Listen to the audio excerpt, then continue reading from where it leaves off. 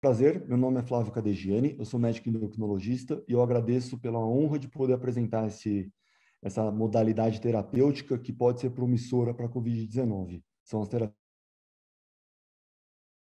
Bem, conflito de interesse meu não tem nenhum relacionado à molécula aqui apresentada, nenhuma das moléculas, aliás.